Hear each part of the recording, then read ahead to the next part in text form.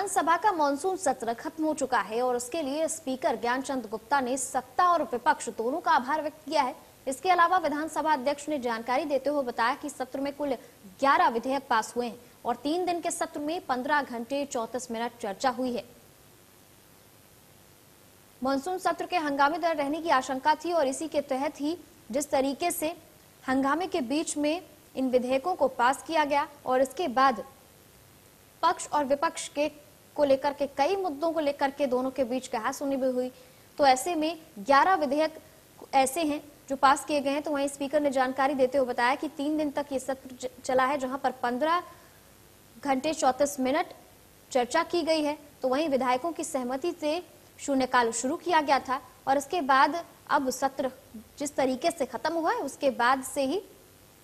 आभार जताया गया है स्पीकर द्वारा और कहा गया है कि सभी की सर्वसम्मति से ये 11 विधेयक पास किए गए हैं।